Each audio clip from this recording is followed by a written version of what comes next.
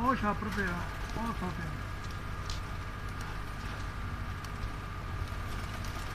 ਝੰਡੀ ਸ਼ੁਰੂ।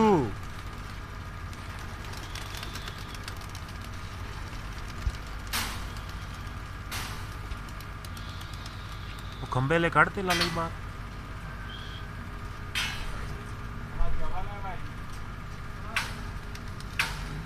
ਉਹ ਦੂਸਰਾ ਮਾਰ ਸਾਧ ਨਾਲ ਪਿਆ ਜਿਹੜਾ। ਉਹ ਵੱਡਾ ਰਾੜ। ਉਹ ਹੈ?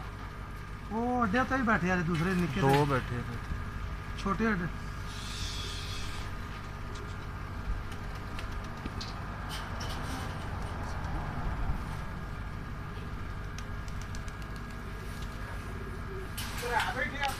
ਨਹੀਂ ਨਹੀਂ।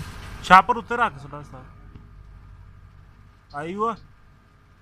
ਆ ਕਮਾਟੂ ਆਇਓ ਆ? ਕਮਾਟੂ ਆਈ ਝੰਡੀ ਸਤਾ ਚੈੱਕ ਕਰ। ਇੰਨੀ ਗਜਾਨ ਹੋਣੀ ਚਾਹੀਦੀ ਬੰਦੇ ਝੰਡੀ ਵਾਸਤੇ। ਦੇਖਿਓ ਮਗਰੋਂ ਸਾਡੇ ਸਿਰ 'ਚ ਨਾ ਕੱਟ ਮਾਰਿਓ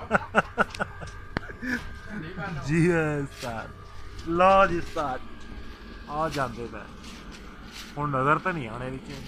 ਉੱਚੇ ਹੋ ਗਏ। ਉੱਚੇ ਹੋ ਗਏ